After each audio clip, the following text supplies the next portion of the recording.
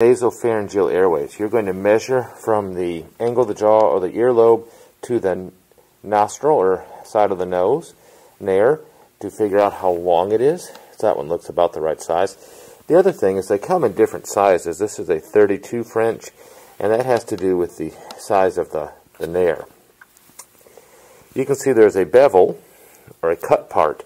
This always has to go towards the septum, or the middle of the nose. There's a piece of tissue, cartilage with a little bit of skin, right in the middle. So the bevel always has to go towards it. So it's really designed to go in the right side. However, if it won't, we can put it in the left. So when we have the nasal, because it is going in the, the nose like that, it can be a little uncomfortable. So I'm going to take some lube, lube it up fairly well. And then it should, on the right side, pushing straight posteriorly, slide on in and rest on the back of the mouth. Now, if for some reason you meet too much resistance, it just will not go in on the right side, we can, again, bevel to the septum, go in on the left, and when we get about halfway in, we'll rotate it 180 degrees, and then it should slide the rest of the way in.